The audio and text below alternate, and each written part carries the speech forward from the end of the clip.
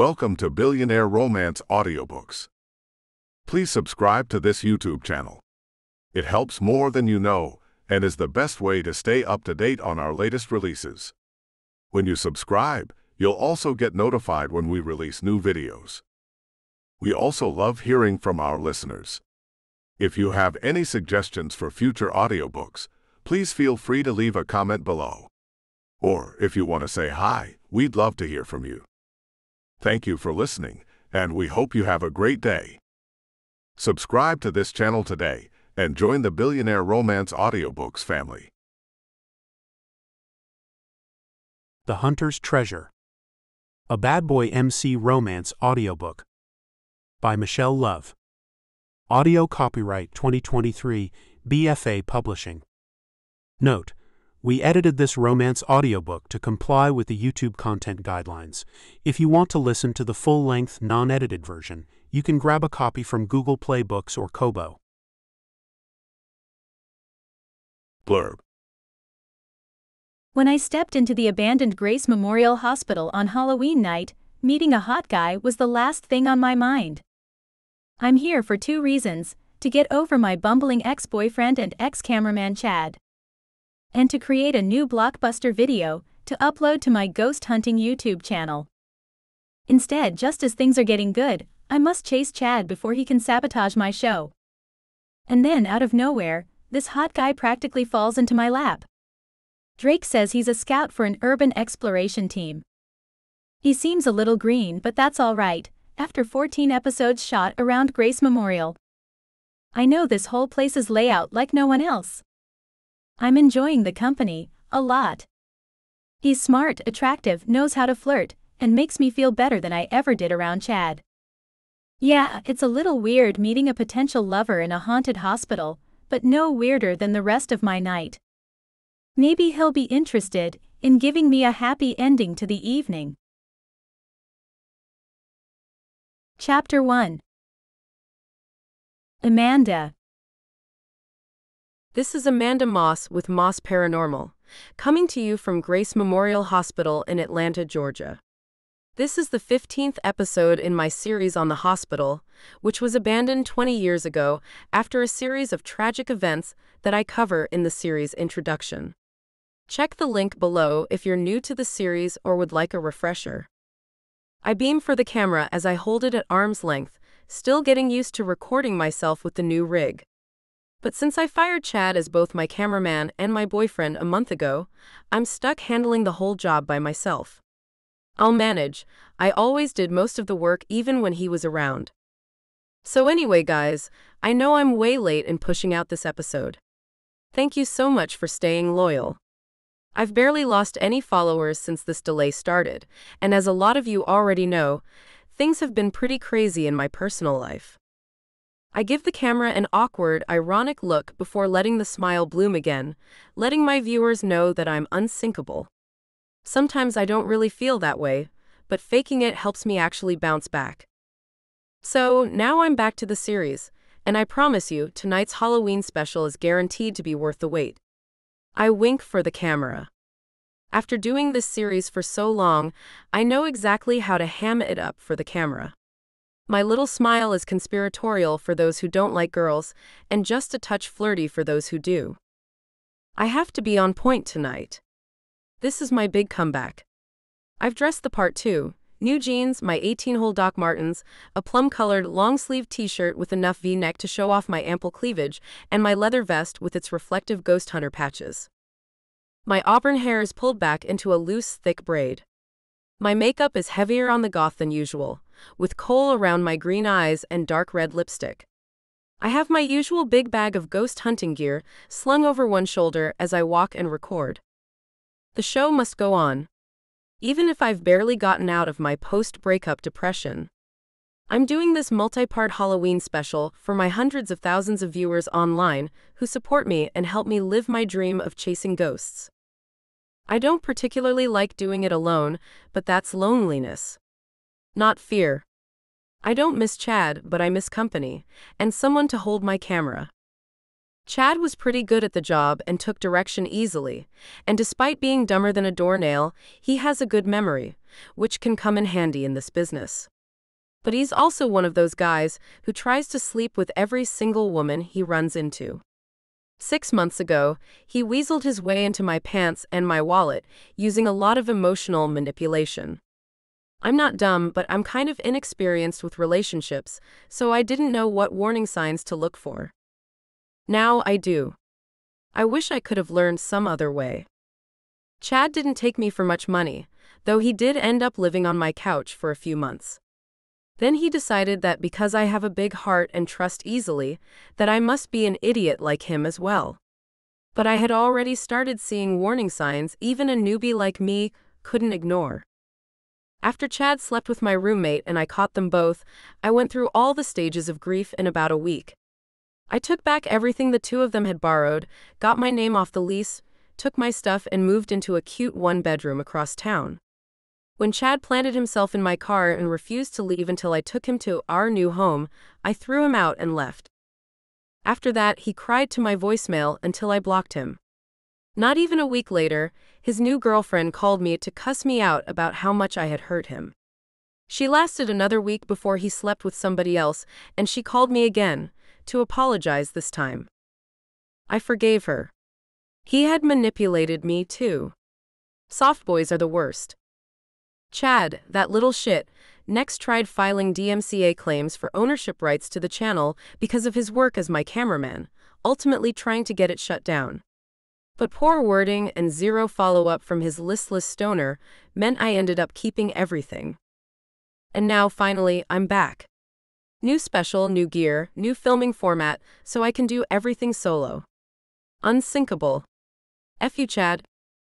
I'm proud of my video channel. I've been running it since I was 16. For almost five solid years, I've been doing urban exploration with ghost hunting videos, EVP recordings, and a book with sales that, some months, started paying my rent by itself. I did it alone at first, then with Chad for 18 months, and now by myself again. In the meantime, I've graduated from making recordings on my phone to using a high quality video camera. Tonight I've brought two cameras my phone, tripods, a separate voice recorder, and my real baby, a FLIR thermographic camera. No longer do I have to explain cold spots with just the readings on my thermometer gun. I can now show my viewers the cold spots and other weird temperature fluctuations associated with hauntings. When your medium is video, visual proof is always best.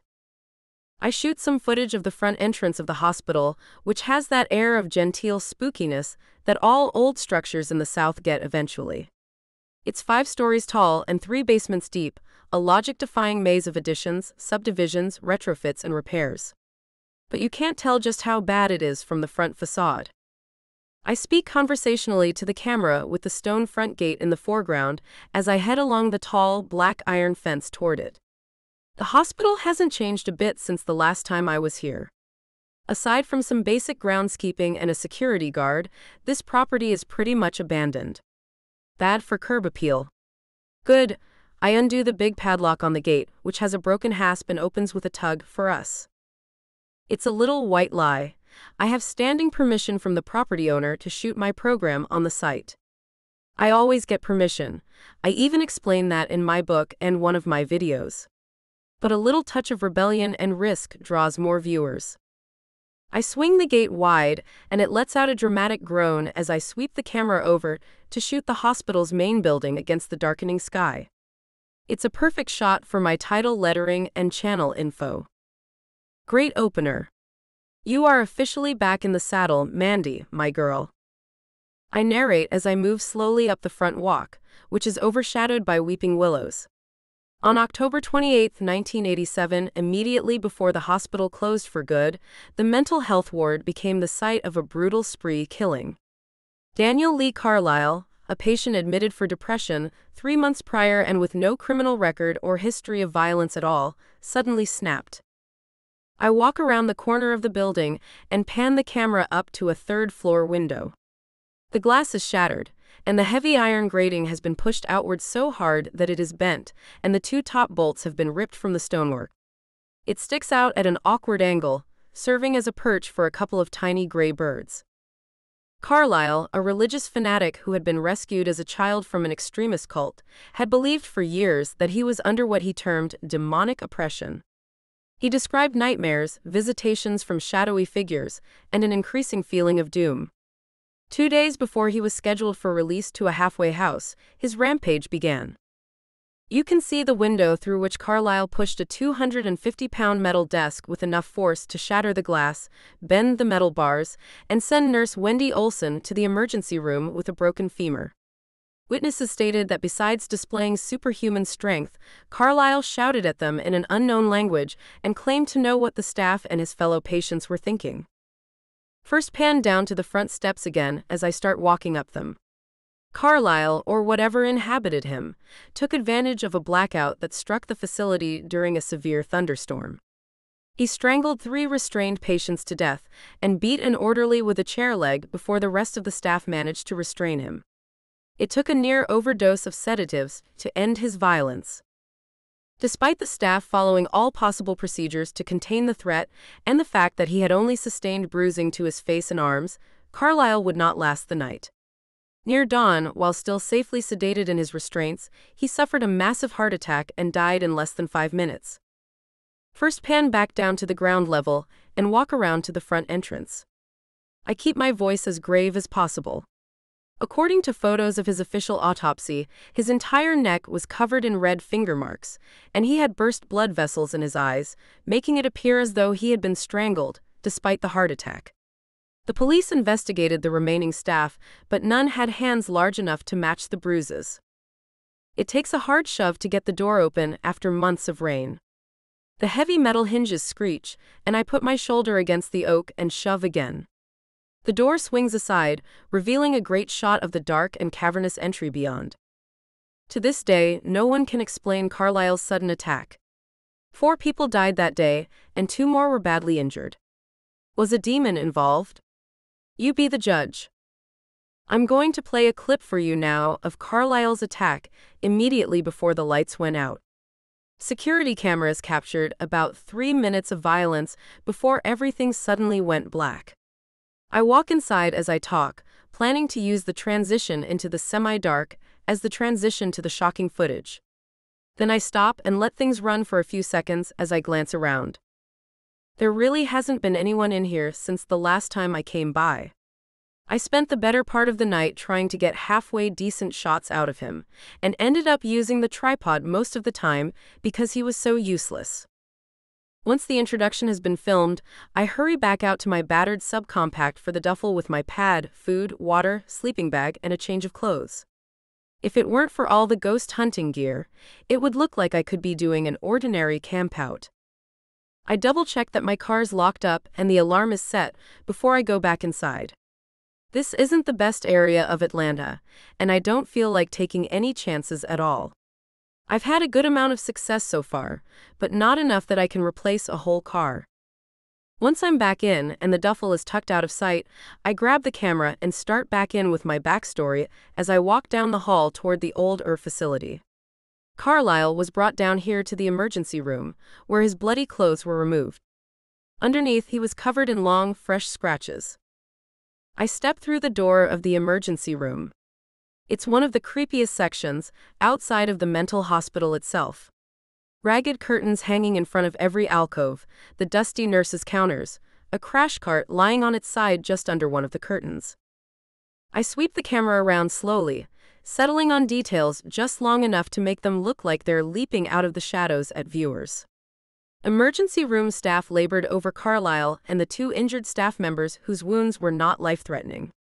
Both were sent home within a few days, one of them on crutches. But Carlyle would never leave this emergency room alive. I'm walking as I talk, and at the end of my sentence, I step into one of the empty booths and let the camera's vision settle on the gurney dominating the small space. It moves. I let out a disbelieving squeak and leap back, only to laugh a little. I've somehow managed to keep my camera on the gurney as it rolls to a stop almost instantly, leaving six inch long streaks in the dust behind its wheels. Oh wow! Did you guys see that? This is promising to be our best show yet. Little things can be just as scary as big ones when there's no ready explanation, and I'm pretty spooked myself. I put my hand over my heart and catch my breath before lifting my chin and smiling for the camera again. Tonight, I will be covering both the emergency room and the site of Carlisle's rampage using both EVP audio recording and a continuous video feed. In addition, I now have this. Grinning, I heft the FLIR camera. This is the infrared camera I was talking about in my last video. Tonight, I'm going to fire this baby up and give you a look at what was left behind in the aftermath of one of the most frightening incidents in Atlanta's paranormal history. I wink at the camera. Stick around. I'm sure that this night will have a whole lot of surprises in store for all of us. Chapter 2 Drake. The motorcycle roars under me as I open the throttle up. It's a cool, crisp Atlanta night, and the highway into town is almost clear. The chance for a burst of speed does me good, it reminds me that I am free. I'm dressed like any late 20s guy you'd expect to find on a motorcycle head to toe black leather, boots, gloves, jeans, and an unmarked jacket. I'm not flying our club colors tonight. I'm flying under the radar. I told the boys to stay back in Baton Rouge, where we've got a secure hideout and plenty of money in pot. They need a break after six heists in a row, jumping from city to city to intercept jewel shipments and steal from collections. If we push too far and too hard, especially right now, we're more likely to make a mistake that will cost us. I don't go for reckless excess. Neither does my team.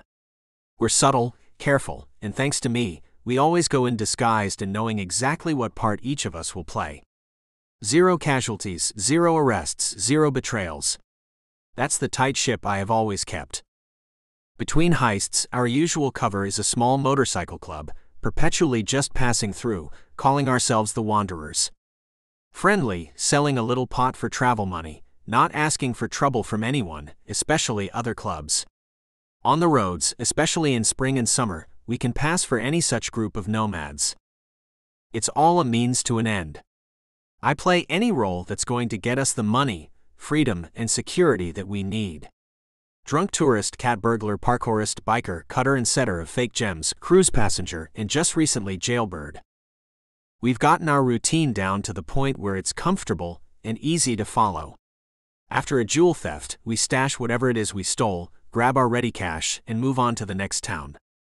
We wait for things to cool down, usually six months or so, and then circle back to the cities where we have our stashes and commit no crimes at all while we retrieve them. Outside of a little trespassing, of course. Six months on, five months off, and we leave one stash every year squirreled away long term in case something goes wrong. We end up fencing bits as we go, but keep the really choice stuff for a black market gem sale in Rio that happens every January. Five years in a row, we have gone down the coast on an enormous cruise ship, pretending to be five brothers on our annual vacation together. Our stopover in Rio is three days, and we arrive with gems sewn into the linings of our luggage and our outer clothes. On the way back, those seams are stuffed with cash. It's a good life, and we make bank. And for the most part, outside of a punched out guard or something like that, we do it without any violence at all. It's so much better than what the boys and I left behind, that maybe I've gotten a little complacent while I enjoyed my new life. Maybe that's how I got caught, either that or someone didn't drop the damn dime on me. I don't know. I may never know. But I can't help but feel like I slipped up somehow. They were waiting for us when I got back to New Orleans. I barely got to check on my houseboat before the damn cops were all over me. They had popped me on a gun charge for a weapon I had never seen before in my life, but had supposedly been found back in my stateroom by the maid. I went without a fight so everyone else could take the chance to get away. Everyone else in our club has no record at all. I snapped them up before they could get into the sort of low level crap that gets kids into trouble. I was the one the cops had something on, so I took a dive. One for all. Maybe I'm dumb and sentimental, but after ending up in juvie for stealing to survive, I couldn't risk my boys going down too. I just don't see imprisonment as anything but hell on earth. There's no rehabilitation behind bars, just a cage you share with monsters. I was jailed for five and a half months for a crime I did not commit, before they finally figured out that I was telling the truth. I could have copped a plea, but that would have meant probation, which would have thrown a giant monkey wrench into our business. And I've got my pride. If they had caught me for something I had actually done, that would be one thing, but I'm not going down for something I'm innocent of. I was as shocked as anyone to find out about that gun. I hate the damn things. I only carry a firearm on the job, or when we're playing outlaw biker out on the roads. Tonight, Max, my second in command, pretty much had to push a pistol at me and make me promise to take it along. I'm an ex street kid with a lot of dumb mistakes under my belt, but compared to the guys I met in prison, I'm a model citizen. I steal and smuggle jewels from people so rich that they will barely miss them, and I sell a little pot between gigs. I've never bullied anyone, I've never started a fight, and I've never had to use my gun.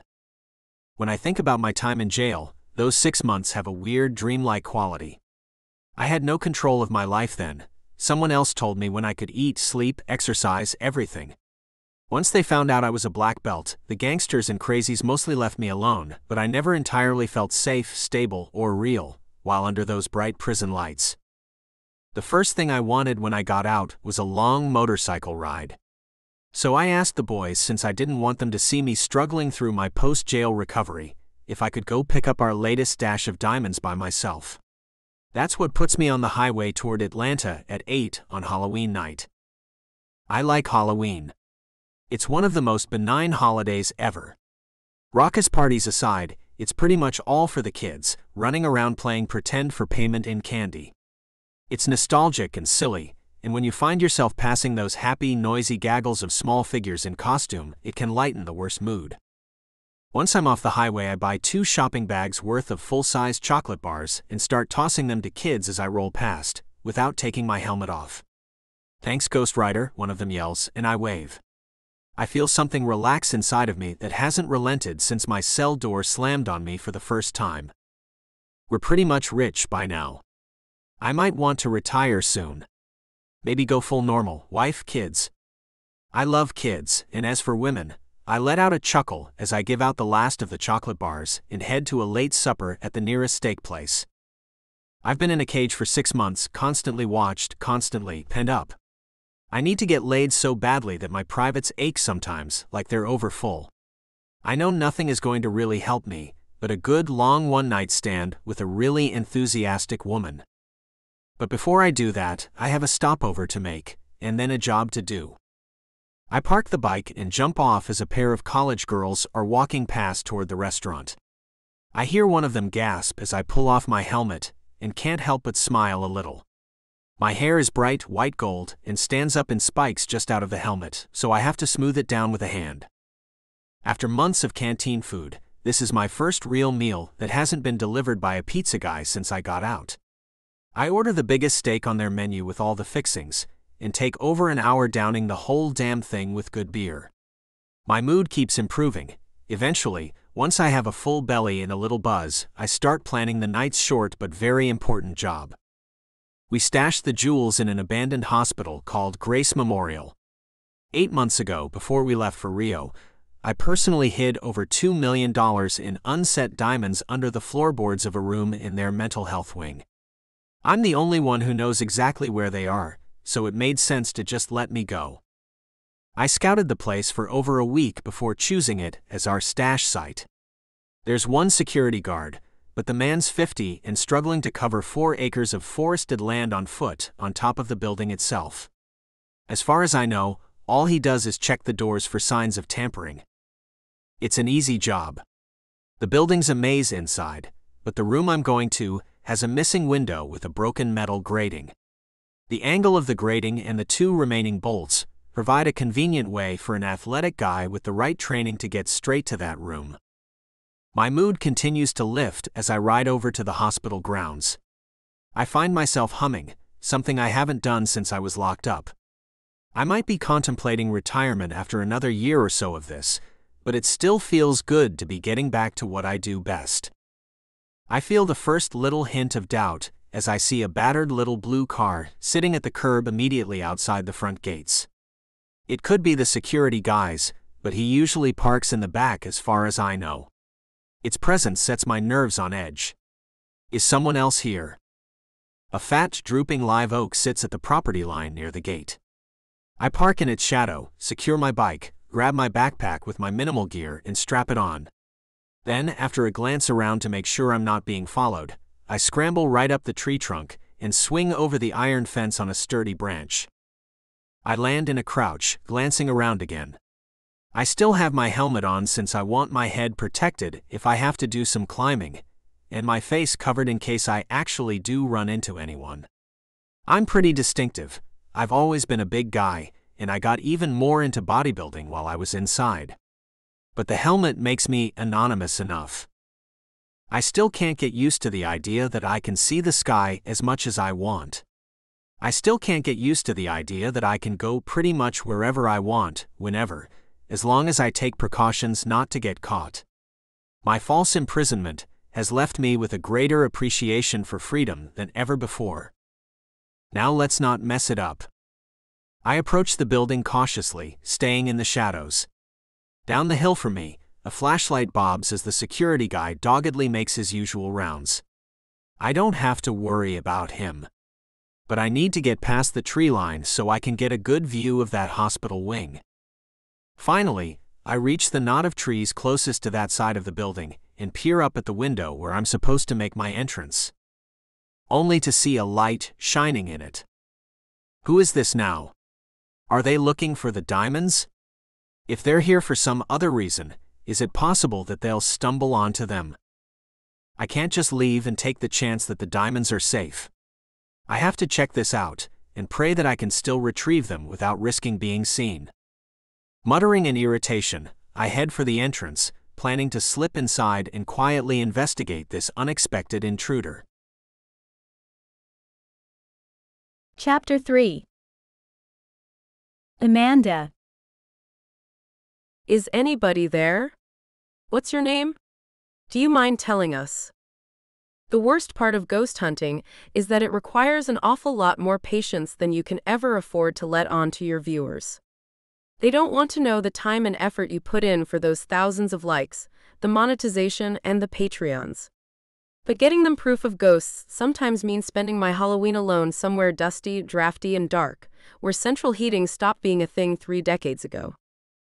I'm filming myself doing EVP recordings. Ghosts seem to be able to manipulate electromagnetic fields, including electronic and magnetic media, and cause it to record their voices. So I give them prompts and an open sound recorder to talk into. I usually record in shifts all night, three hours on, a few hours off to explore, then reset and change venues for the equipment, and another three hours of EVP. I then enhance nothing but the volume for my viewers, playing the interesting bits back at a lower speed in case they don't catch those fleeting whispers. In the years since I started doing this, I have caught a lot of pretty convincing things. The only problem is, I'm working surrounded by city noise pollution, even in the middle of the night. So, I'm a long way from proving I've heard anything that I can say beyond the shadow of a doubt has a supernatural origin. That's the problem with ghost hunting. To be taken seriously and provide anything resembling a consistent, scientific approach to investigation, we always have to be skeptical. Even to the point of constantly second guessing our own work. But better that than ending up trapped in the pitfall of gullibility or of believing one's own hype. Belief that evidence of the existence of ghosts can be captured with enough diligent work doesn't equate to blind faith that every creak and cold draft is the work of a spirit. There are always other explanations, and I acknowledge them. I'm popular long term because I'm providing the evidence I find as I go along, as well as being user friendly and a touch sensational. The fact that a cute, thick girl with a friendly, perky attitude is doing the delivery probably helps as well. But the real stars are the ghosts, when I can get them to come out and play, that is. I have the FLIR and a regular camera focused on me, and the psych nurse's desk behind me, and another focused toward the connecting hallway around the corner. I always record myself on video from a few angles while doing EVP recordings. Nine times out of ten, it's while I'm sitting there trying to do them that any poltergeist activity, orbs, light streaks, or other phenomena will kick in. But that means that I have to keep my manner as well as my voice calm and cheerful for the ghosts and my audience the entire time. I must also always be polite, even though the entities in this place may include a spree killer or the demon that inhabited him. This is Amanda. I was here a couple of weeks ago. Thought I'd come visit you guys again. I have the mic going. If you have anything to say, please do. I have to leave big empty spaces of silence between each question because I can't actually hear the ghost's answer. Their voices are too quiet, even if they could register to my ears. I only know later if I have gotten anything. I end up having to spend hours sitting there, having a one sided conversation, and keeping faith that someone or something is talking back. The EVP recordings I've captured in the past are all short phrases, usually single words, not always answering the question I asked. They always have this weird intonation, as if they're only an approximation of a human voice. Some of them sound like a piece cut out of a longer conversation, while others are metallic, flat, or hollow, or buzzy like a computer generated them. Fred here. I'm still cold. Nicer than the last. Number 4. Four. Four. He'll hurt you. Sorry. Every time I hear a good one for the first time, the hair on the back of my neck goes up with a mix of terror and glee. Once I calm down, I go back over them again, doing my best to be objective. I take a lot of trouble to screen them and eliminate false positives before showing them to my viewers. I finish my first three hour recording session and turn off the recorder and cameras, sighing and stretching. I grab a snack bar out of my bag and go over to the workstation I have set up at the nurse's counter. Booting up my laptop, I start working on processing the audio I have taken so far. I'll check the cameras next. I munch and take sips from one of my water bottles as I get the program booted up. Its window opens promptly, bare bones, just some text, and the oscilloscope graphic below, which vibrates every time there's even a hint of noise. It only takes me a minute to transfer the files from the camera to my laptop and get the first one running. I keep it turned to a normal volume at first, double checking the spaces between my questions and prompts to try and hear any faint sounds or see the slightest vibration of the lines on my laptop screen. All I can think of right now is getting a good, convincing, exciting catch for my viewers to go along with the rolling gurney. I can't hear what's causing it, but I definitely see the line wavering in spots between my questions. Sometimes in rhythmic patterns, sometimes at length, sometimes in short bursts. There's no logic to it. Wondering what the hell is going on, I put my headphones on, isolate one of the quiet sections, and enhance it. It's a single word, whispered very clearly in what sounds like a young male voice. It has depth, expression, and barely any distortion. It sounds, in short, too human. Sometimes it snickers a little, but otherwise it repeats that same word in different ways for almost a minute. My eyebrows creep toward my hairline. What the hell? I check some of the other spaces between my prompts. It's the same voice, just a lot of swearing, mocking, and insults, mostly based around that one word. What he says gets noisier and gains variety as it goes on, as if the speaker is getting bored of his own stupidity. It doesn't take me long to figure out what's going on, and it makes my cheeks burn with anger. My fists clench. Chad. Somehow, he's either planted a transmitter in this room or he's very close. Heart beating hard from anger, I take off my headphones and move as quietly as I can around the room, shining my tactical flashlight around, looking for gleams from hidden electronics. I don't see any, dot, but my eye is drawn to the open heating duct on the nearby wall. It leads straight up and down inside the wall, opening onto every floor. I crouch near it and listen hard, my eyes narrowing. There's part of me, a small, sad, disappointed part, that hopes that this is not what I think it is. But I'm a big girl, and though it saddens the romantic in me, I'm not surprised when I hear soft snickering coming from below me. Oh, F you. I grab my cell phone and my flashlight, move quietly over to the doorway, and step outside into the cavernous, drafty hallway. I know where the spots on the stairs are that creak, and avoid them on my way down to kick some serious butt. I smell pot on my way down the stairs, and my scowl turns into a smirk. This idiot has been down here getting high for hours, probably freezing his skinny butt off as he smokes through his stash and slowly loses focus as he tries to ruin my EVPs. And maybe he has managed to ruin some of them, but in return, he just handed me comedy gold and even more material for my comeback. Recording video on my phone just like old times, I whisper into my phone. Okay, guys, I was in the middle of recording EVPs when I found out that I'm not alone in here. And I'm not talking a squatter or a stalker or a ghost. Nope. My voice is still perky. Still unsinkable. So someone decided he would show up and whisper up through the old heating ducts so he could mess up hours of my EVP recordings. Guys, who do we know who might try something like that? I hurry quietly to the examination room below the area where I had been taping, the smell of pot leading me like a beacon. Once I get close, I can even see a dim light coming from inside. My anger comes back, but I hide it behind a firm smile as I advance on the room. I step inside and see the huddled figure leaning against the wall at one side of the heating grate. He's starting to whisper into it again when I shine the light on him. Busted. The scared little boy look of horror on his face as he tries to cringe out of the circle of light thrown by my flashlight is the same one he wore when I caught him in bed with Barbara. In its own way, it's as satisfying as it is outrageous.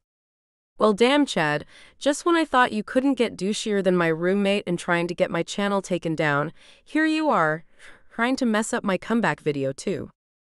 I was just, I was. He stammers, shielding his dull hazel eyes with a hand. His dark brown hair is stiff with gel, and he's still dressed like a skater even though he can't board worth a damn.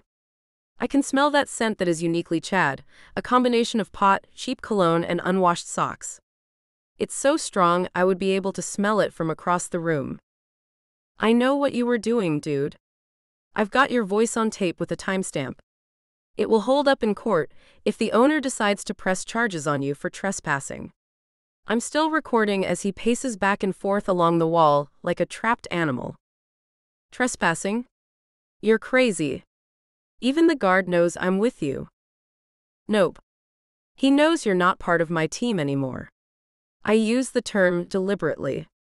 I could break this boy like a twig in a fight, but he's just the kind of coward to get belligerent if he thinks I'm here alone.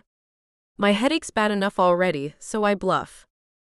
He looks up and around nervously. You're not here alone? I don't know what causes it, but immediately after he says that, we both hear a soft thud and creak upstairs. Light, stealthy sounds, like those of a cat jumping in through the window, could make. But they do sound a bit like footsteps. He looks up in alarm.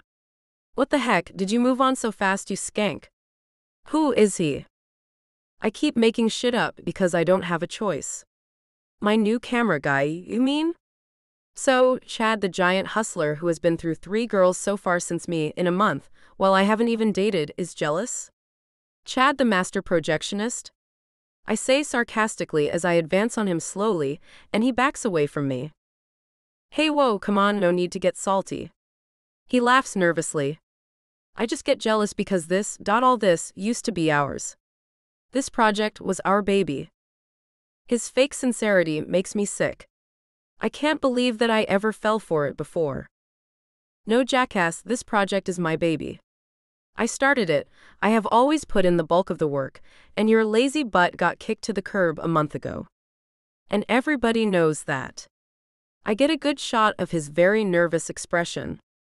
Now get out. And don't bother me or my viewers again. I record him scurrying out of the room and chase him down the hall with the camera while he glances back and swears. Stop filming, he yells, knowing how many of his former fans will be laughing at him now. Stop it. Oh, come on, Amanda. Couldn't be a bigger skank than you. I call cheerily as I chase him all the way out the front door. The last I see of him, he's running down the hill toward the front gate. I film him the whole way, and then turn the phone to my own laughing face. I stop filming and shove my phone in my pocket, walking back inside slowly while the smile drops off my face. I'm angry, sad, and God help me, so lonely that I'm swallowing back tears as I make my way back up the stairs. It's hard as hell to get over the biggest romantic mistake of your life when he won't leave you alone. My head is pounding with the effort not to cry. I'm wearing professional quality fixative on my makeup, so I don't have to worry about crying it off when I have to be on camera, but it's the principle of the thing. I don't want to shed any more tears because of Chad. Chad is a lot of things besides a cheating, perpetual child. He lies constantly, hates any kind of responsibility, makes a mess, forgets things, likes drugs and booze way too much, and gosh, he is a disaster in bed. I'm so distracted by fighting with my emotions that I forget for a moment about the soft sounds that I'd heard upstairs. When I walk in through the door, I freeze in place as I see a tall black figure with a bulbous head crouched on the floor across the room. It takes everything I have not to scream aloud. Chapter 4 Drake. I run into a problem as soon as I slip inside the hospital. Someone has set up some kind of video shoot in some of the rooms, including the one that the diamonds are in. On top of that, some stupid looking kid is hiding on the second floor directly below the room I want. After nearly walking in on him, I'm stuck making my way up to the fourth floor room directly above the mental health section. There, I can listen in on the videographer, a perky sounding girl, in peace. I quickly discover that I really have stumbled upon a film shoot of sorts. I've stumbled upon a ghost hunter. After a few hours of listening, I learn that her disgruntled little lout of an ex boyfriend is the kid I ran into downstairs, and he's trying to wreck her show for revenge. When she finally catches him and goes downstairs to confront him, I think that my chance has finally come to retrieve the jewels. The problem is the stupid boy lets himself get chased out in under a minute, and she comes back upstairs before I can retrieve my treasure. Her strangled gasp of shock startles me. I look up to see a pair of enormous green eyes staring at me from behind the hard glare of a tactical flashlight. I can't make out much of her while squinting against that penetrating light. I can only see her outline, which even under the circumstances catches my eye right away. I have a split second to decide what to do, run for it, and leave her wondering why I was in the room looking like I was going to search it from top to bottom, or try to charm her into forgetting that I shouldn't be here. One more glance at those bottomless green eyes and I make my choice, holding up a hand. Whoa! She stops dead, blinking in surprise. I reach up and remove the helmet, giving her the most disarming smile I can manage as I show my face. Sorry. I was scouting the building and I saw a light. Three very telling things happen at once. Her gaze sweeps over my face and then down over the rest of me. Her guard relaxes halfway and she rolls her eyes. Oh, holy crap, I thought you were Slender Man's beefcake cousin or something. Who are you, and what are you doing on my set? She lowers the light enough that I can see past it, and now it's my turn to eat her up with my eyes in return. She is a cute, curvy girl with a sweet face. Her lustrous auburn braid has me imagining what it would feel like in my fist, and that voluptuous body makes me want to hug her tight and kiss her at the same time. Your dot set. Wow. Ah, sorry. Look, I'm Drake, and I was just scouting the building site for some of my urban explorer buddies when I saw your lights and then heard voices. I didn't mean to startle you, I swear. I hold my empty hands out and keep my voice calm and reassuring. She lets out a sigh. Yeah, okay. Well, I'm Amanda, and I'm doing a ghost hunting segment here for my channel. Christ, take your helmet off next time seriously. My heart almost stopped. She moves into the light of the work lamp and turns off her flashlight. Urbex? I sometimes run into people who are into that while doing my shows. She's considering me. Her eyes skim over the contours of my body under the leather, more subtly than a man would, but bolder than expected. I look at her and remember that I haven't touched a woman in six long, ugly months. It's like a wave of heat from an oven washing over me. What about seducing her? The delicious idea dances through my mind. I'm pretty confident that I can get her into bed if I can gain her trust. Even in a dusty, creepy old place like this, I still have game for days. I lick my dry lips. Yeah, I wanted to make sure the place was safe and a good venue before we come through with $1,000 GoPros and stuff. Shop talk. Something relatable. I have to get her trust as fast as possible, or she's going to get real incooperative, and I wouldn't blame her. The suspicion is slowly leaving her expression. Well, I admit, this place would be great for an urban exploration series. We might even be able to cooperate a little if things work out. She moves a little closer to me. So, what's with the motorcycle helmet? Well, I have a motorcycle helmet handy since I rode my bike over. It's cheaper and easier to wear it in when scouting than to take it off and replace it with gear that does the same thing. I give her a little ironic wink, and she actually laughs a bit. Even in the dim light, I can see her cheeks color as she glances away. Well, yeah. Anyway, I just wasn't expecting anyone else here tonight. Then her expression goes speculative as she eyes me up. Does the owner know you're here? I let my gaze shift a little in mock awkwardness. Ah, uh, well, no. I don't usually bother at the scouting stage. At her disapproving look, I give her my most disarmingly sheepish one. Anything to make myself seem a little less like a big, threatening guy, in a lot of leather, who just accidentally scared her socks off. Besides, I'm not sure who to talk to. The corner of her mouth tugs up. I've got the owner's contact information. You need to check in with him before you schedule any explorations here. Folks in Atlanta get pretty territorial about trespassing. Crap. That bad, huh? I didn't know. I should find a way of stashing things locally that doesn't involve trespassing onto any place with security. I look around, making sure to keep my eyes off the patch of floor where I hid the diamonds under loose tiles and a broken floorboard. Yeah, also, if you don't know this place, it is really easy to get lost. We had some urban explorer guys in here before us. One of them got lost in here for over a day. She nods as she keeps eye contact while I stare at her in genuine shock. I'm quite serious. Wait, what? Did the guy get drunk or something? How did he get lost for a whole day? That actually surprises me, although chatting this woman up and calming her down is more important than what we're talking about. She is calming down by cautious degrees. While I might be lying to her, her instinct to trust me isn't wrong. I'm not here to harm her, and I won't unless I absolutely have to. I might trick her or distract her a little, but only as much as it takes to get my hands on the jewels without her noticing. No, actually. She smiles a little. This place has stood for over a century, and has changed ownership almost a dozen times, with new additions and renovations made with almost every owner. Five stories, three sub-basements, and many wings that don't quite match up. It's not quite the Winchester Mystery House, but in some ways it's even easier to get lost in here. Wow. Damn. So going down in there alone is probably a bad idea. I scratch the back of my neck, standing with one hip slightly lower than the other, very aware of her eyes on me. She seems to like what she's seeing. Good. It will make things easier.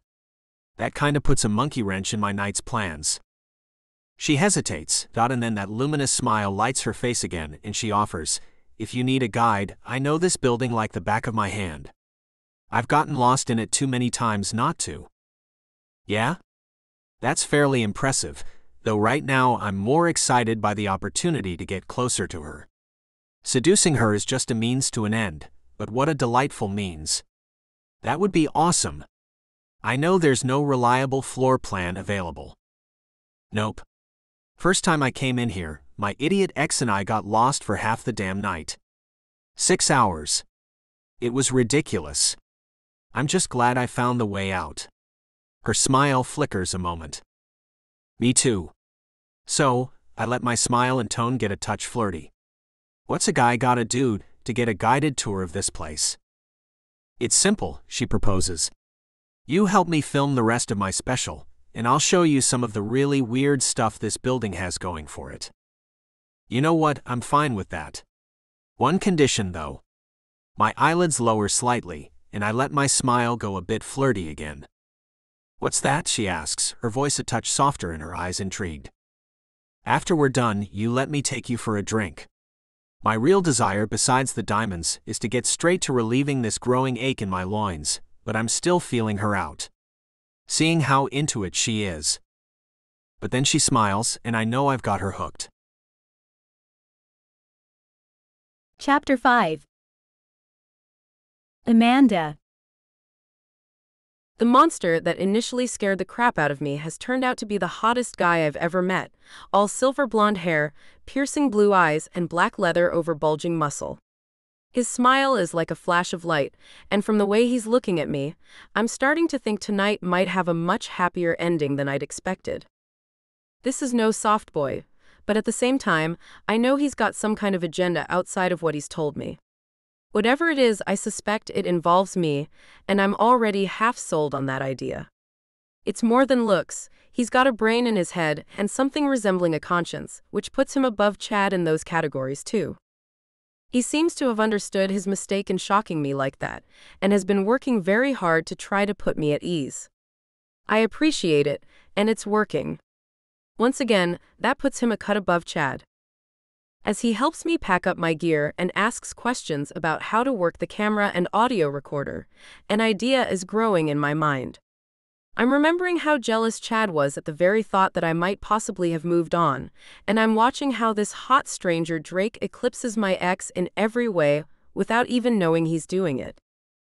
I'm thinking about revenge. Not romance. I know better than to risk my heart while on the rebound from Chad, even if it has been over a month since I left him. But an incredibly attractive guy after going on an adventure with him, one that furthers my career on top of everything? Forget free drinks. Right now, I'm wondering how it would feel to have him pin me against something. If I can trust him, that is. Some guys put up a hell of a front to get what they want and then turn on you. Even Chad managed it for a while, and he's an idiot. So I'm still in wait and see mode as I put on my backpack, he grabs the big equipment bag, and we both hold up a camera and click on their lights. Okay, so pan around slowly as you walk, but make sure your movement is smooth. Sometimes you have to turn to get a shot fast, but too much shaky cam and you'll make your audience queasy instead of excited. I'm trying to keep my mind on my work and set up a little professional rapport, but my mind keeps straying back to the prospect of sleeping with him. Normally, a strange, hulking guy giving me a hungry look in a totally abandoned, isolated location would put my guard up right away. But when I saw those sultry blue eyes and that shock of silver gold hair that looks perfect for holding onto during a makeout session, I have to admit, my judgment got a little skewed. Things are working out so far. But as we move down the hall and I do the walkthrough part of the show, I think about what could happen once the second bout of EVP is done and we're leaving the cameras to record back in the mental ward. How do you power all this stuff? He asks as he practices panning the camera around. Rechargeable battery packs.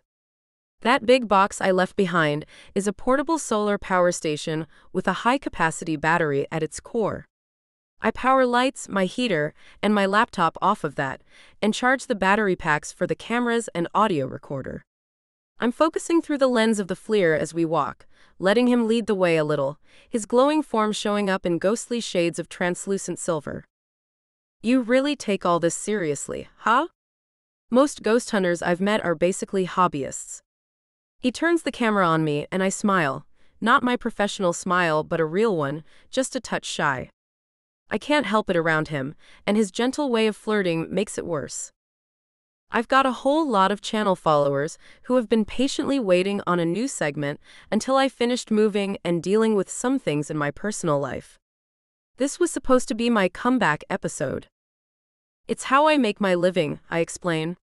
I run the channel, I gather evidence, I write books, and I have a website. Wow.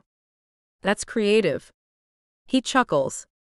I totally admit, the urban exploration thing has always been more of a glorified hobby for me. Otherwise, I would have a bit more of the kind of connections you've got. Oh, well, it's a matter of finding the right person and then asking nicely. I wink at him. Crap. I just winked at him.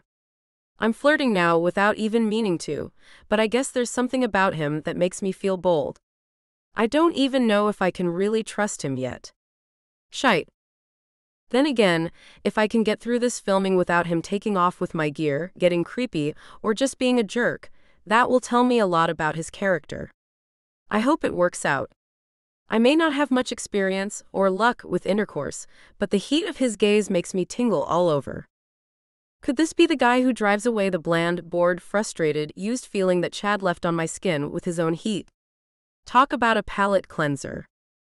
So, where are you taking us? He walks slowly enough to take things in as I lead him into the depths of the building. My secret dungeon comes out of my mouth before I can stop it. I wince, almost hearing the laughter from my imaginary audience. Oh no, I'm not clumsy at this flirting thing at all. Nope. He lets out a loud laugh that startles a couple of small bats off the rafters. They flutter and squeak at the edges of our lights for a few seconds before settling. Oh, really? Well, I'm all for it. Prefer if you turn the cameras off for stuff like that, though. His wink makes me giggle in spite of myself. Oh, well, actually, I thought I'd go straight to showing you one of the weirdest things about this property. Besides me, that is. Sounds good? Where is it? I give him a wicked smile. Deep down in the lowest sub-basement. That's an addition dating back to the turn of the century, but it really saw use around 1918. I am telling this story for my viewers as much as for him. I still don't know how I'm going to work this tour seamlessly into my special, but I'll figure it out. Once again, the show must go on. Chad's attempt to derail things has left me even more determined to not only move on with my romantic life, but to kick butt at my channel's comeback. How tall, pale, and handsome here might figure into the second part, I'm not sure yet. I just hope he's as interested in me as he seems, and that he doesn't have any really serious skeletons in his closet. Chapter 6 Drake Her name is Amanda, and she's even more fascinating than I had first thought. She's tireless and focused as she leads me downstairs and down a twisting set of hallways. Now and again, her green eyes give me that smoky look that makes me wonder if her sleeping bag will fit too. She's telling me a story about the 1919 influenza epidemic and how this hospital has an entire wing that's been closed down since then. The outbreak is rumored to have been much worse than was documented. We'll never know. But one of the reasons this place was closed was that they found a mass grave from that era in the deepest subbasement. I swallow, feeling a genuine chill. Damn, she's good. How did you find this out? Time talking to people at the Historical Society of Atlanta. They're the ones who connect me to the old building's property owners and government custodians. They're the ones who can get you in, if you can bribe me into introducing you. That flirty but still slightly shy look crosses her face again. She's smiling a lot more easily now. Are the bones still down there? Morbid curiosity has its claws in me. She laughs a little. Oh, number. Nothing like that, they were cremated and interred. There's a memorial on the southwest corner of the property. But while Chad and I were wandering around lost, we stumbled on the place where they pulled the bones out. Her voice goes low and conspiratorial, and I start to understand her giddiness over these spooky old places. Okay, that's freaky as hell. I have to see it. This beats any haunted house tour I've ever been on. And it's not like the diamonds are going anywhere. As interesting as this history lesson is, seeing her bountiful body move through the dark ahead of me is a huge distraction. I find myself wanting to focus all my attention on her curves and not on our dreary surroundings. But I've got a job to do, and I'm well going to see it through. Still, if I can mix my business with pleasure, I'll go for it without hesitation. But I'll let her set the pace. It's down this way, she's saying excitedly, when her voice cuts off and she stops walking. Wait. What is it? I instinctively lower my voice and move closer to her, too aware of the weight of the pistol under my jacket. I unzip while I'm thinking about it and switch the camera to my weak hand. I'm not sure. I'm new with this infrared camera. Give me a second. She hesitates. My fingers slip under my jacket and unsnap the piece strap on my holster. Jail changes a man's instincts. I'm not taking one single goddamn chance. Here, let me see. I have experience with infrared from my Army night combat training, and once we trade cameras, I take a quick look. There are faintly glowing spots on the floor, and I know what they are at once the heat residue of human footprints. Alarm bells go off, and I lay a hand on Amanda's shoulder.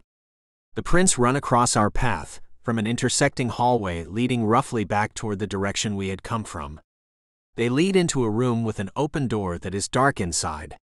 No footprints lead out. Someone got ahead of us deliberately, and they're hiding out in that room. I have barely finished the thought when I see a glowing arm snake out of the doorway and point something dark toward us. On pure instinct, I shove Amanda into the nearest open room and throw myself after her.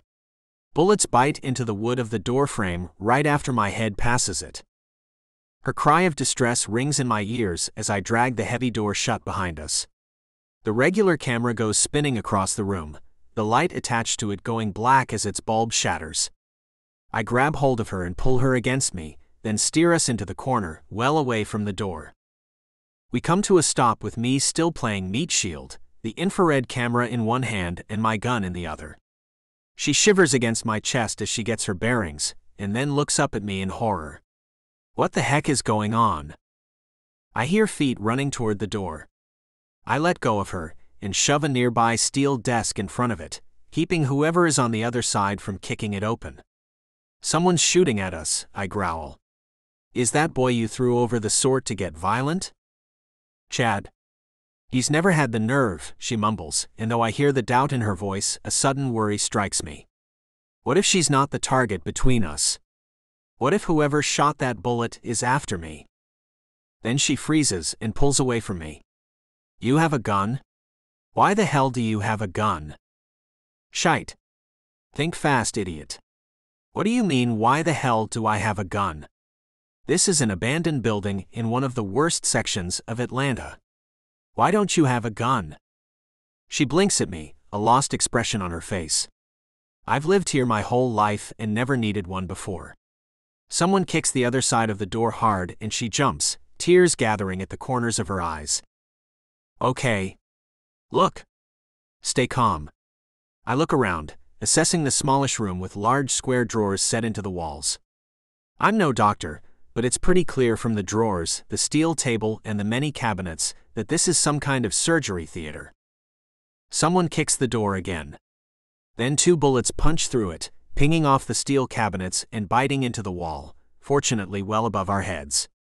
Amanda screams, and I step back and fire at the door, using the same angle as the shooter, and stare in horror as the gun goes bang, but no holes appear anywhere in door or wall. What the heck? I mumble, looking down at the gun, then duck aside as whoever is on the other side shoots back at me. I manage to get out of the way, but it's pretty clear that something's wrong. Then I hear the raspy laughter on the other side of the door, and suddenly I know who it is. Hey Drake, what's the matter? Max calls out mockingly. Something wrong with the gun I gave you. I look down at the gun he convinced me to take, and then over to Amanda, who is staring at me in a mix of suspicion and horror. Max, what precisely are you doing? But I already know, and I don't even bother to hide the creeping horror and rage on my face. Max took over as head of the Wanderers while I was gone, and he's an unstable, overambitious jerk. I suppose he got a taste for it. But now I'm back and in the way. I suspect that he wants to fix that. Answer me, you psychotic little prick. Max is short. He's got a Napoleon complex and is three times as belligerent as he needs to be, unless I'm around to rein him in. Which I haven't been, but that also means his buttons are easy to push. Hey, F you, Drake. You and your ethics. Your rules, Trying to be the good guy. We're thieves, Drake. Max's tone is full of disgust. You held us back. It's time for you to go. Amanda is staring at me in fear and suspicion. Thieves, she mouths, outrage and disappointment on her face. I'll explain everything. Just not now. I'm seething with rage, but I keep my voice gentle with her. Not so when I turn back to the door. I kept you safe, Max. I even risked my freedom to keep the heat off of you. You think your martyr complex entitles you to keep bossing us around? He shoots through the door again, but we're safely to the side of the spray. I think that being the most experienced and being more stable than you does. I can't help it. I would walk out there right now and beat his face in were it not for the gun. You're right, Max, we are thieves. Not murderers, not kidnappers, not anything else. Just jewel thieves. And we're making a ton of money at it, so what the heck is your problem? You're my problem. We could make a lot more without your bullshit rules holding us back. I can hear he's spitting mad, his voice going almost squeaky with anger. It would be worth laughing at to mess up his judgment more, but I don't know how many bullets he's got left. Oh. Greed then. And you're tired of being told what to do. Fine. Take our whole year's earnings. I'll walk away. This is ridiculous, and I have no intention of letting Max lead the Wanderers straight into hell. But I have to get Amanda and myself out of here in one piece. I hear a brief argument outside. A deeper voice, Oscar, Max's sweet dumb bruiser younger brother. He's saying he'll walk away, big brother, come on. Let's just let him go. You know he's gotta follow his own rules. He's that kind of guy. That will be the end of it. Look, shut up. They're trying to whisper, but aren't doing a good job of it. It's a lot more complicated than that. And besides, I hate the prick. Why couldn't he have just taken the plea on the gun charge and gotten out of our damn hair? My eyes widen and then narrow. So you're the one who set me up, I growl. I should have guessed. Max stole six months of my life, and now he's after the rest. Max's voice turns grave. There's more to it than that. See, if I let you two go, nothing's stopping you or that skank with you from rolling over on me. She's a witness, Drake. Amanda and I exchange horrified looks. She's only a witness because you started shooting at us. There were a million ways to get me to walk. Max laughs. Oh no, you're still not getting it. See, I don't want you to walk. After five years of doing it your way, it's time to do it my way. And that means nobody lives to talk. Not you or her. What the heck went wrong with you while I was gone? I mumble in astonishment. But I know. Just like jail changed me, a taste of power changed Max. I came to my senses. There's a shuffle of feet. Oscar break down the door. But Max. Oscar. Now. There's a heavy thud, and I toss the pistol and sling the camera, turning to look around. We have to find a way out of here. Who are you? Amanda gasps in a shaky voice. I turn around, and in the dim light from her flashlight, I see her cheeks glazed with tears. She's in shock. I hurry over to her, reaching her just as Oscar slams into the door again. Amanda. Please. Listen to me. I will explain everything, and I will find a way to get us out safe. But I can't do any of that if you freeze on me. Please, the genuine note of pleading in my voice seems to pull her out of it part way. Okay. Okay. She looks at me, then pushes away from the wall and starts looking around. It's a weird room with no windows or obvious way out. But there is one drawer that's larger than the others, rimmed in some dark color with a small sign on it that I can't make out. This is an autopsy room, Amanda breathes. She shines her light around, jumping as the thud comes again. The door rattles hard on its hinges and the wood cracks a little. Then her light falls on the drawer and she gasps. Oh crap. What is it? We both head toward the drawer. I reach over and open it, revealing the large, clean chamber inside, and I notice the big lever next to it. Another body drawer? No. It's the dumbwaiter. See the lever next to it. This is how they got the bodies downstairs to that mass grave without anyone noticing. So we can go down in it? I go over and test the box for stability. It creaks a little on whatever rope it's connected to, but both it and the counterweight seem in good condition. Good. Get in, sweetheart. Wait, she says with alarm. I thought we were going together. Holy crap. She's still willing to deal with me, even though I've brought trouble into her life that's threatening her very existence. But I can't let her stay with me. No casualties allowed, and I don't want to see her hurt or scared. I have to try and draw them off. You need to get out and get somewhere safe. She grabs my arm. He will shoot you. The door shutters on its hinges, and splinters of wood fly into the room. Get in the damn dumbwaiter with me. What? There's no way I'm this lucky. Look. I don't know who that prick is, but he wants to kill us both now, and I am not risking him cornering me alone once I flee this room. Even if I call the cops right now, you know they won't even show up for half an hour or more, and I'm sure you don't want them around anyway. We are getting out together, and then you are explaining this entire thing and telling me how you're planning to make it up to me for putting my life in danger. Her finger is in my face. She's even more attractive when she's angry. Fine. I cave, knowing any plan I'm forming will actually be easier if I have someone with me who actually knows the building. We bundle into that tight, narrow space together, with her whole lush, trembling body crammed against me. In the middle of everything, her body rubs against my chest, and my mind goes toward her again.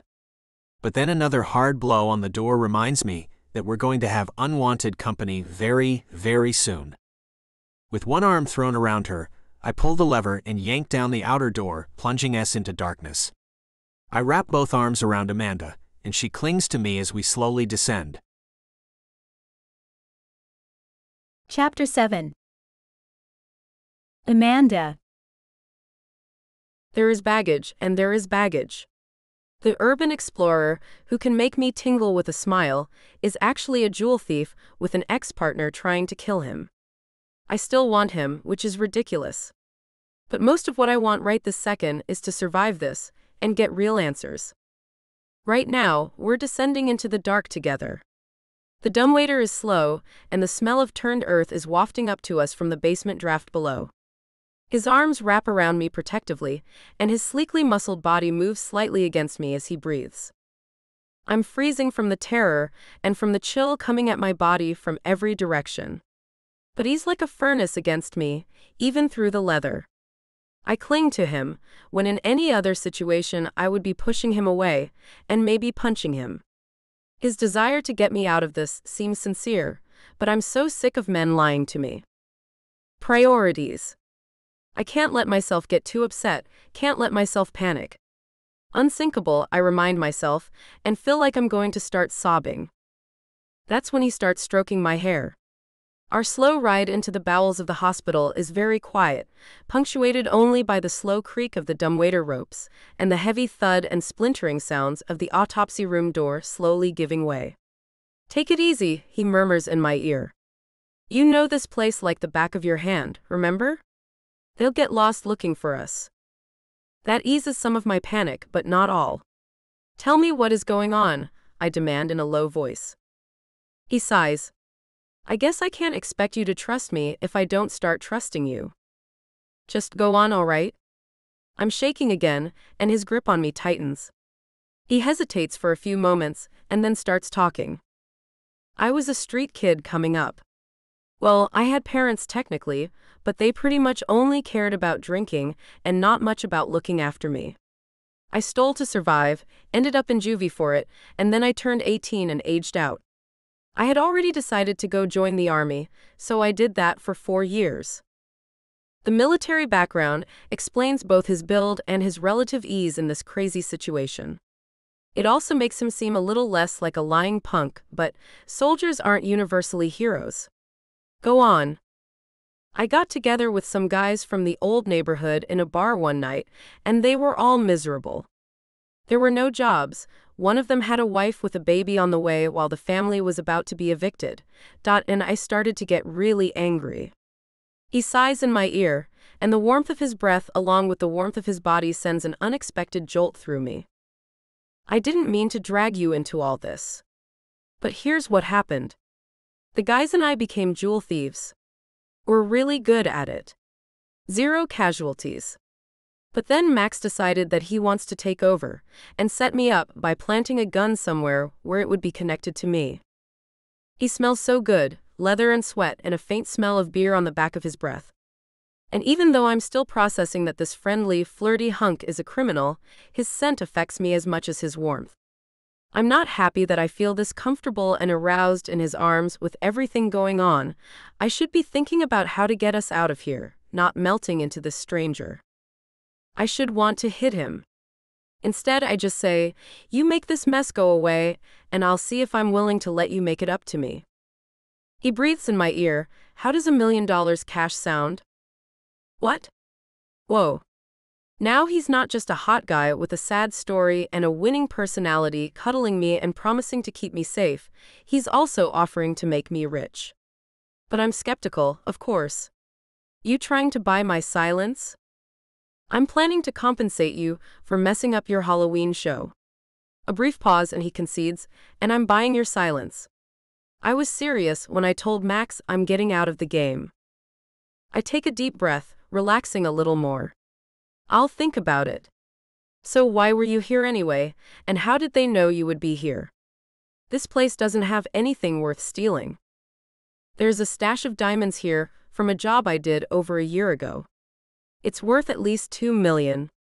I was alone when I went in to hide it, so I'm the only one who knows where this stash is. I was trying to retrieve it when I ran into you. It's in the room where you were filming. Suddenly, it all makes sense. Plenty of places to hide a body in here, I mumble. That's what Max must have thought when he followed you in. It's so ironic that it makes me sick. The ghosts here have startled me, frustrated me, demanded hours of work for a single whisper, but I have never been afraid of them like I am of this Max guy. You're right, though. We can lose them down here. I say it aloud as much to comfort myself as anything else. But it's right then, as I'm starting to feel a tiny bit of hope, that a terrible crash sounds from near the top of the dumbwaiter shaft. I stifle a cry of horror against his chest. Shish, he warns, and I do my best, cramming my hand against my mouth. Where the heck did they go? Max's voice echoes down the shaft at us as they walk into the room, and I pray we reach the bottom before they discover the dumbwaiter. You sure they're not hiding in here? I freeze. That voice isn't Oscar's, it's Chad's. Shaky with apprehension and almost wheedling. It's either that or they found a way out of the room. You two search, I'll cover you. Max's voice is steely, and I hear the rolling sounds and bangs of the morgue drawers being opened. Oh man, it stinks, Oscar grumbles. Chad joins in with, This looks like dried blood in here. Shut up. Max growls. And as for you, keep your mouth shut and keep working. Remember, you only get to live until you stop being useful. Sounds like they've got your ex hostage, Drake whispers, and I nod slightly. That means they'll have a guide. A piss poor one, but still. They're less likely to get lost. I hate admitting it. You guys hear something squeaking. Oscar queries, and my blood starts running cold again. The dumb waiter rope. Find the source of that sound. Max snaps, and Drake and I both stiffen. I feel his heart start beating fast. Listen very carefully, his deep, smooth voice murmurs in my ear. The moment this thing stops, you jump the hell out. Get clear of it. I'll help you. It may be a bumpy ride, but we need to get out of here. I don't question it. I just roll over, needing his help because the damn backpack is making me clumsy, and brace my feet against the back wall of the dumbwaiter. A moment later, the dumbwaiter door slams open from above. What the heck? Oscar mumbles. We both freeze. Then, after a long pause, it's a little elevator thing. It's going down. Damn, Drake breathes, and I swallow and try not to start crying. Get out of my way. Max snarls, and I hear a struggle. No, wait, what are you gonna do? Oscar cries, getting increasingly upset about the decision to kill us. I said move.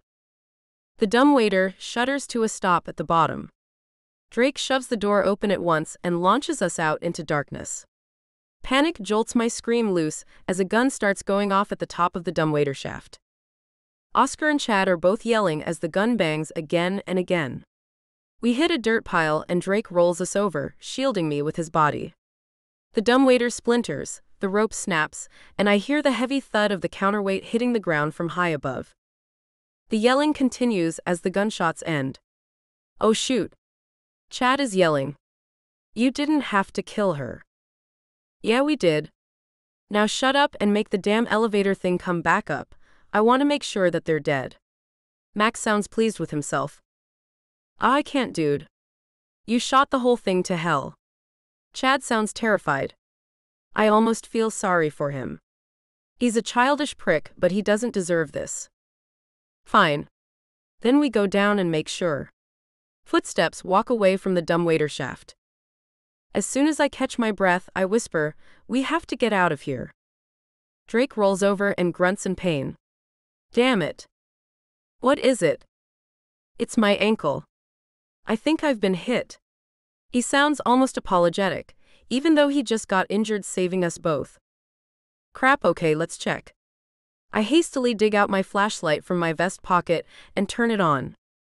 The dirt that padded our fall is a pile excavated from the mass grave, which we're just feet away from. The pit almost takes up the entire room, a huge gouge in the dirt floor of what was once a vast storeroom. The beam illuminates the spindly old wooden staircase that clambers down the wall from the main basement high above. The lower part is covered in old tarps and lets out practically at our feet. I shine the light down Drake's outstretched legs and see a gouge in the leather of his boot. No blood, thank God. I'm not sure, but the leather might have done its job for you. He takes the flashlight and checks and lets out a sigh. Yeah, it didn't go through the boot. Must have winged me. I'll have a hell of a bruise, and this is going to slow me down. The urge to panic wells up inside me like icy water, but I lift my chin and look at him firmly as I get to my feet. Then we find a place to hide. Chapter 8 Amanda. I know Chad knows about the staircase. They will be here soon. I help Drake along as we go to the far end of the cavernous room where the excavators had set up a base camp in a side corridor.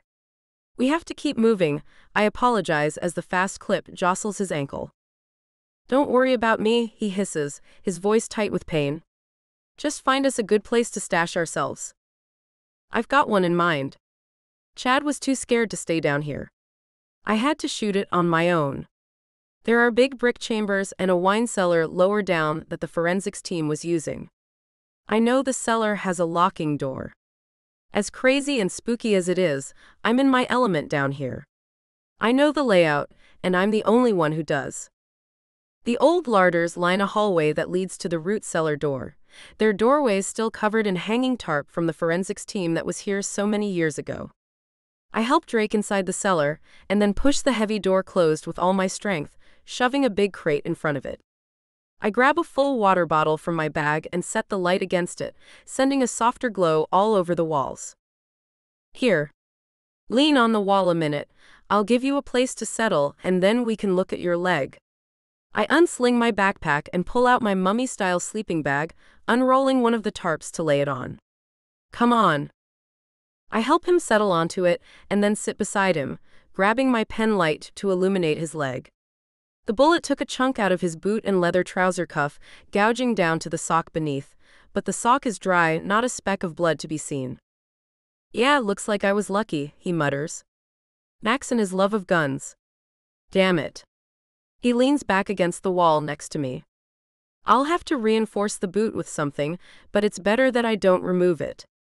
If it's a sprain or a bone bruise, pulling the boot off and limping around without its protection will just aggravate it. I nod, sitting back against the wall, trying to regain my bearings after our terrifying escape.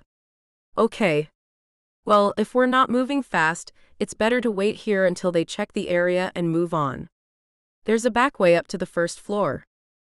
His arm goes around my shoulders and I lean against him, feeling the need for a serious distraction. Then we had better wait it out.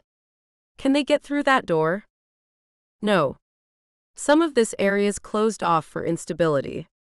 Chad hasn't even gone down this hallway. He thinks it's a death trap. I nestle my head against his shoulder, the unfamiliar warm and tingly feeling coming back, wearing away slowly at my fear. That's lucky then. So we hide out here, wait until they come by, give them some lead time to get off the floor, and then. He looks down at the FLIR still hanging from its strap and checks it. Okay, it's still functioning and has half a charge on its battery.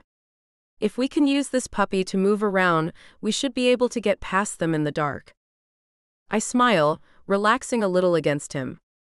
We don't have weapons, but we definitely have all the brains and preparation in this fight. I can't believe you haven't punched me in the face yet, he admits, and I laugh a little. I've thought about it a few times. But you're kinda paying me a million bucks not to. So as long as you keep up your end, I'll keep my hands to myself. He lets out a soft laugh, dot and his hand drifts gently over to my knee. Actually, I would rather you didn't keep them to yourself. He turns to me, taking my chin in hand, and leans over to feather a delicate little kiss onto my nose. A spark catches inside me, and I tilt my head up, chasing his lips with mine. We have people chasing us, trying to kill us. But as he pulls me against him, I know that this is exactly the kind of distraction that I need right now. Besides, to be completely honest with myself, I might be dead soon. There's a cheery thought, but it also means that being shy seems a particularly stupid waste right now. There's more to this than simple revenge on Chad or taking a chance with a hot guy when my life's at risk. It's more than raw animal attraction. There's nobody hot enough to get me fumbling off my clothes in the depths of a haunted hospital while my life's in danger just on looks alone.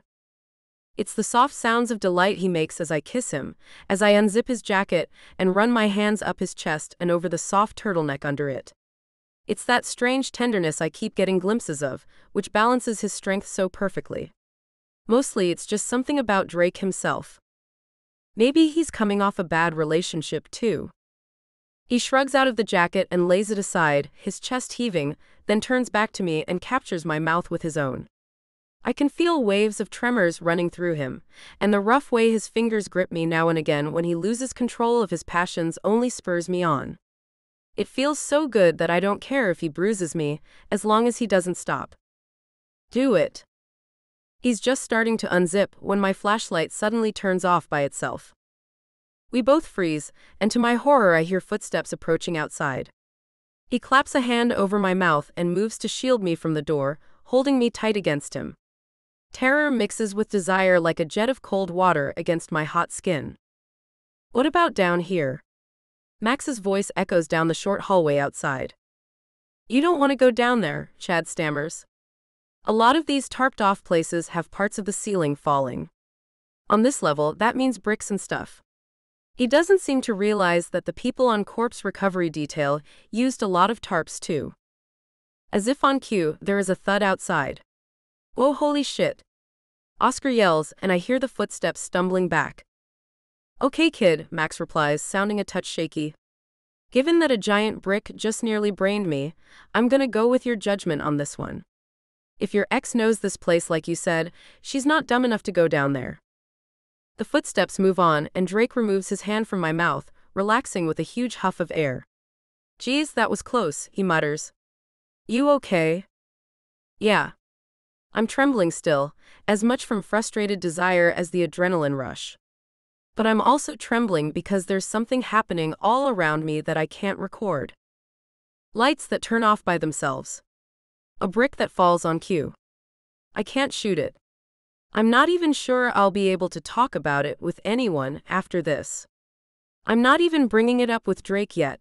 After all, I know better than to rely on this presence the same way you would physical backup. But it gives me hope. I think some of my ghost friends might be looking out for me. Hopefully, they aren't watching too closely, though, because Drake starts kissing my neck then, trying to distract me from what he thinks is strictly fear. I hesitate for a moment, wary of Max and company somehow deciding to come back, but then smile and let him. It doesn't take long before his kisses and caresses have me squirming under him again. My head is full of confusion. What feels this good?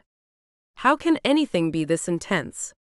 I want more, I need more, and then suddenly my body takes over and I'm catapulted towards something I've never known.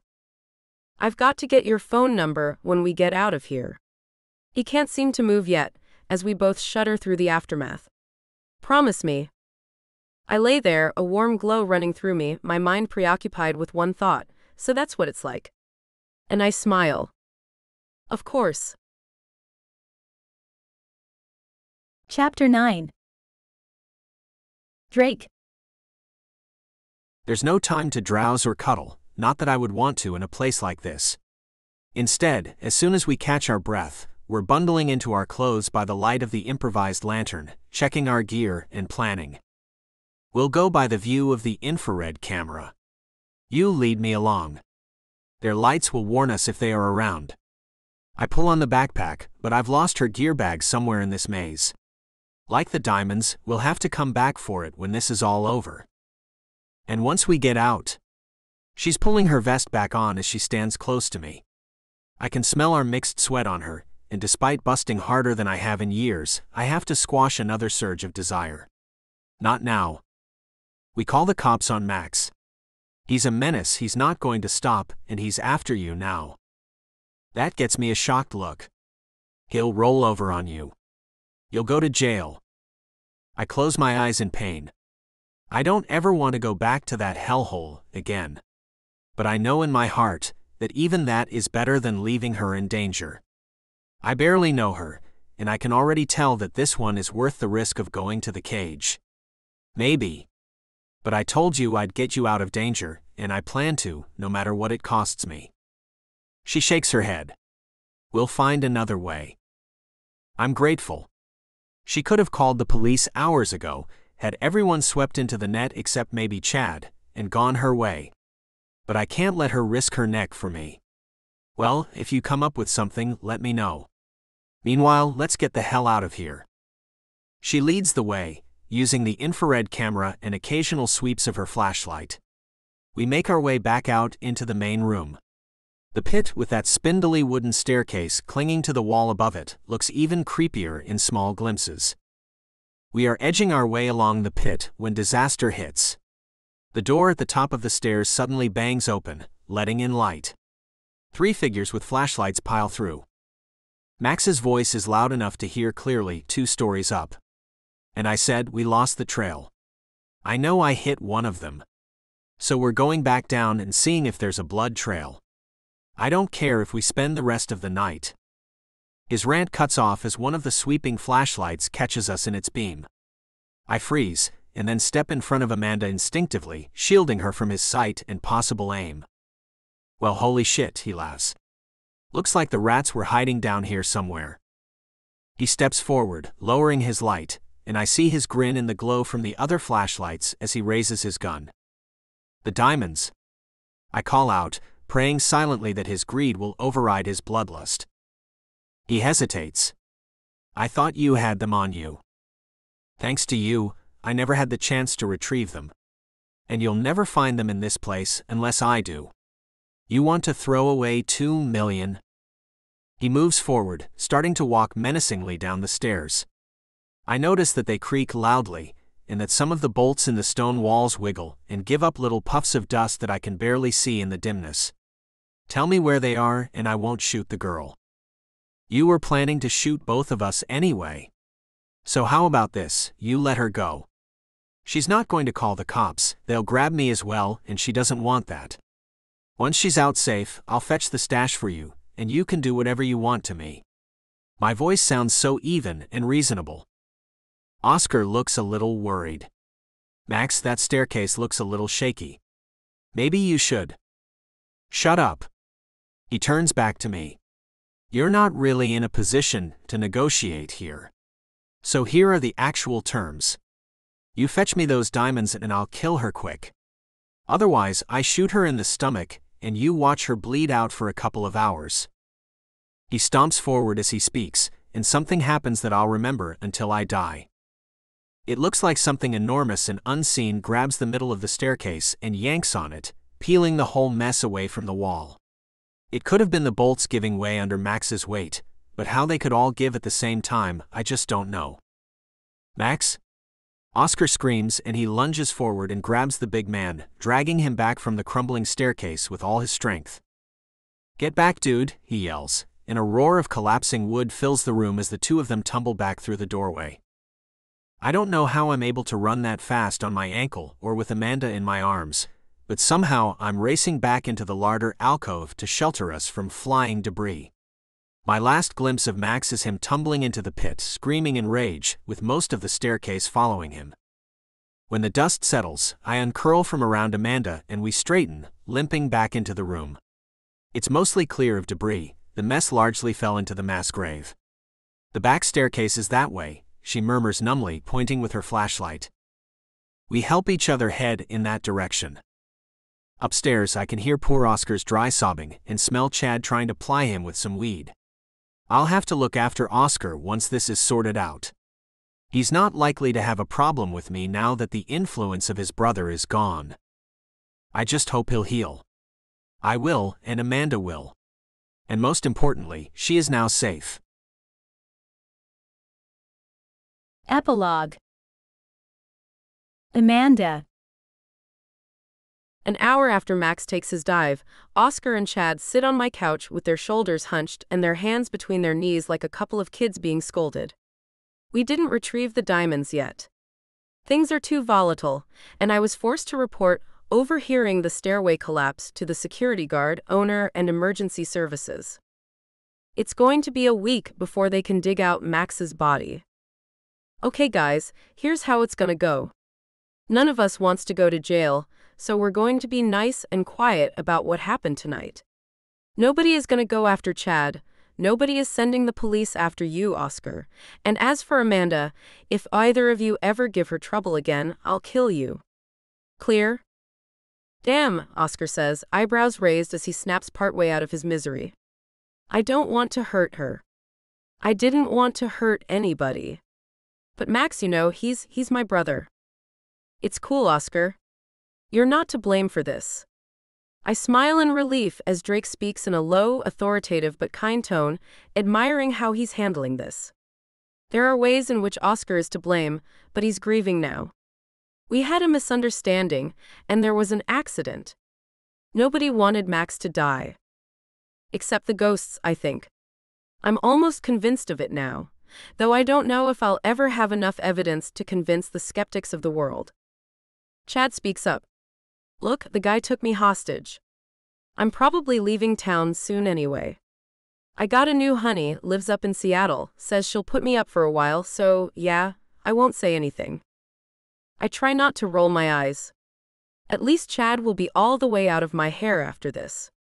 Though I wonder if this girl in Seattle has any idea what she's getting into. Drake looks at Oscar. Look, I'm gonna let this slide and not tell the others what you guys did. I'm probably not going to stay leader much longer. I was thinking of retiring this coming year anyway, after a few more jobs. Then you guys can do whatever you want. Oscar shakes his head, his eyes brimming. You were gonna go anyway. I just wish Max would have talked to you. Me too, Drake says quietly and pats the man's slumped shoulder. Once the two are gone, we both take showers and I check what's left of my equipment after I change.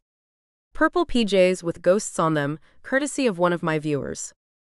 I'm really going to have some explaining to do for the viewers. Not because I don't have any footage I could show them, but because the most spectacular evidence I recorded has to stay under wraps. You should ice that ankle, I tell Drake as he comes limping out shirtless and bootless. Can't yet. I have to circle back to the hospital before they find the scattered gear you left. Or my gun. Or the diamonds. He hesitates. I also left something else there that should probably be retrieved before cops swarm the place, because I just know you won't want it discovered. My camera. I ask distractedly as I bundle into my robe.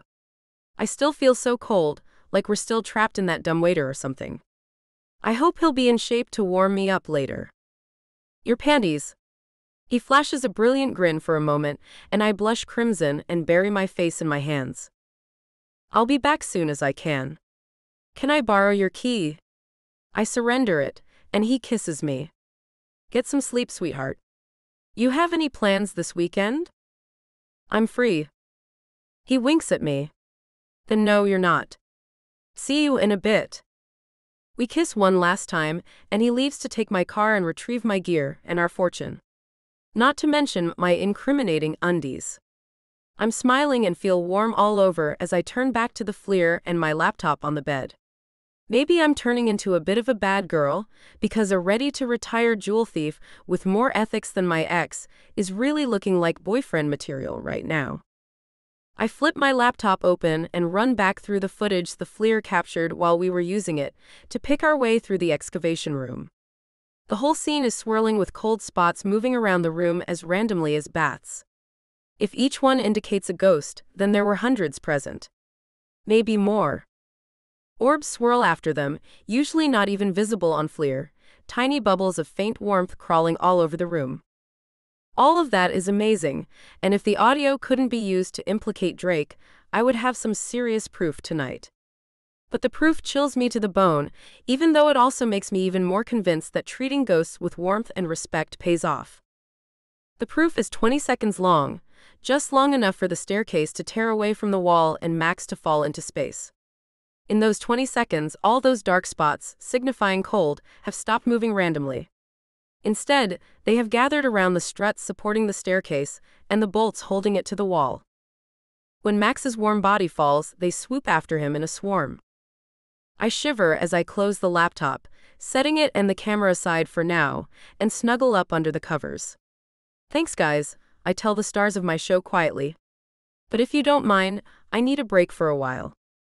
At least for the weekend. That I'll be spending with Drake.